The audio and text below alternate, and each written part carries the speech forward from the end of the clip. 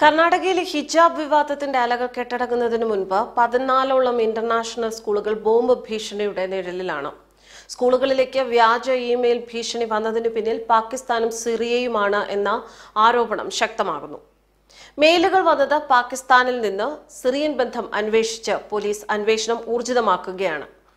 ഹിജാബ് വിഷയം ഹലാൽ വിവാദം സംസ്ഥാന ക്ഷേത്രത്തിലെ മുസ്ലിം വ്യാപാരികൾക്ക് നിരോധനം ഈ സംഭവ വികാസങ്ങളുടെ പശ്ചാത്തലത്തിൽ ചില തീവ്രവാദ സംഘടനകളാണ് ഇത്തരത്തിൽ സ്കൂളുകളിലേക്ക് വ്യാജ ഇമെയിൽ അയച്ചതെന്ന് ഉദ്യോഗസ്ഥർ സംശയിക്കുന്നുണ്ട്. ഏപ്രിൽ എട്ടാം തീയതി ബംഗളൂരുവിന്റെ പ്രാന്തപ്രദേശത്തുള്ള പതിനാലിലധികം ഇന്റർനാഷണൽ സ്കൂളുകൾക്ക് ആക്രമികൾ ബോംബ് ഭീഷണി അയച്ചിരുന്നു. വിഷയം അന്വേഷിക്കുന്ന പോലീസ് ഉദ്യോഗസ്ഥർ ഇക്കഴിഞ്ഞ ദിവസം സ്കൂളുകളിലേക്ക് അയച്ച ഇമെയിലുകൾ സിറിയയിൽ നിന്നും പാകിസ്ഥാനിൽ നിന്നും ആണ് എന്ന് സ്ഥിരീകരിച്ചു കഴിഞ്ഞു.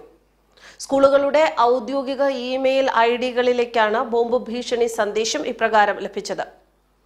ഹെബഗോഡി പോലീസ് സ്റ്റേഷൻ പരിധിയിലെ എബനൈസർ ഇന്റർനാഷണൽ സ്കൂളിനും ഹെന്നൂർ പോലീസ് സ്റ്റേഷൻ പരിധിയിലുള്ള വിൻസെന്റ് ഇന്റർനാഷണൽ സ്കൂളിനുമാണ് ആദ്യം ഭീഷണി സന്ദേശങ്ങൾ ലഭിച്ചത്. മഹാദേവപുരയിലെ ഗോപാലൻ പബ്ലിക് സ്കൂൾ വരുത്തൂരിലെ ഡൽഹി പബ്ലിക് സ്കൂൾ മാർത്താഹള്ളിയിലെ ന്യൂ അക്കാഡമി സ്കൂൾ ഗോവിന്ദപുരയിലെ ഇന്ത്യൻ പബ്ലിക് സ്കൂൾ തുടങ്ങിയ സ്കൂളുകൾക്കും ഭീഷണിയുണ്ട് എന്ന് പിന്നീട് വ്യക്തമായി. അബറോൺസ് മെസാറം അറ്റ് ജിമെയിൽ ഡോട്ട് കോം എന്ന മെയിൽ ഐ ഡിയിൽ നിന്നാണ് സന്ദേശങ്ങൾ സ്കൂളുകൾക്ക് ലഭിച്ചത്. രാഷ്ട്രത്തിനെതിരായ തീവ്രവാദ പ്രവർത്തനമാണിത്. ഇതിനെ സൈബർ യുദ്ധമായും പോലീസ് അധികാരികൾ സ്ഥിരീകരിച്ചിരിക്കുകയാണ്. Information technology I T act അറുപത്തിയാറ് എഫ് പ്രകാരമാണ് ഈ വിഷയത്തിൽ കേസെടുത്തിരിക്കുന്നത്. ബംഗളൂരു പോലീസ് കമ്മീഷണറുമായി ഇക്കാര്യത്തിൽ സംസാരിക്കുമെന്ന് മുഖ്യമന്ത്രി ബസവരാജ് ബൊമ്മെ അറിയിച്ചു. വിഷയത്തിൽ കൂടുതൽ സൂചനകൾ ലഭിച്ചിട്ടുണ്ട് എന്നും കുറ്റക്കാർക്കെതിരെ കർശന നടപടി സ്വീകരിക്കുമെന്നുമാണ് ബസവരാജ് ബൊമ്മെ അറിയിച്ചത്. സമൂഹത്തിലെ സമാധാനാന്തരീക്ഷം തകർക്കാനാണ് ഇത്തരം സംഭവങ്ങൾ അരങ്ങേറുന്നത്. കഴിഞ്ഞ വർഷവും അതിനു മുൻപും ഇത്തരമൊരു സംഭവ വികാസം ഉണ്ടായിട്ടുണ്ട്.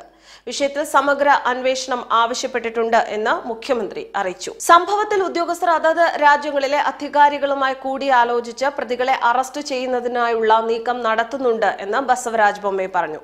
കേന്ദ്ര ഏജൻസികളുമായി ഏകോപിപ്പിച്ചാണ് സംസ്ഥാന പോലീസ് കേസ് അന്വേഷിക്കുന്നത്. സംഭവത്തെക്കുറിച്ച് സിറ്റി പോലീസ് കേസ് അന്വേഷണ ഏജൻസികൾക്കും അധികാരികൾക്കും കത്തെഴുതിയിട്ടുണ്ട്.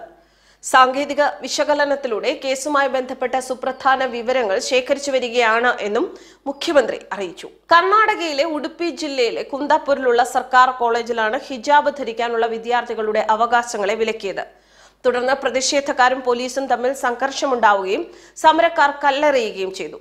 പ്രതിഷേധം കനത്തതോടെ കർണാടകയിലെ എല്ലാ ഹൈസ്കൂളുകൾക്കും കോളേജുകൾക്കും മൂന്ന് ദിവസത്തെ അവധി നൽകുകയുണ്ടായിരുന്നു. അതിനിടെ യൂണിഫോമിന്റെ ഭാഗമല്ലാത്ത എല്ലാ വസ്ത്രങ്ങൾക്കും വിദ്യാഭ്യാസ സ്ഥാപനങ്ങളിൽ വിലക്കേർപ്പെടുത്തിക്കൊണ്ടുള്ള ഉത്തരവും കർണാടക വിദ്യാഭ്യാസ വകുപ്പ് പുറത്തിറക്കിയിരുന്നു. ഇതെല്ലാം പ്രതിഷേധങ്ങൾക്ക് കൂടുതൽ കൊഴുപ്പേകിയതാണ്.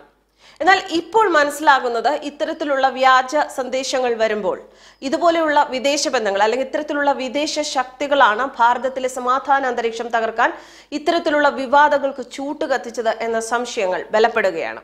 News desk കർമാനസ്.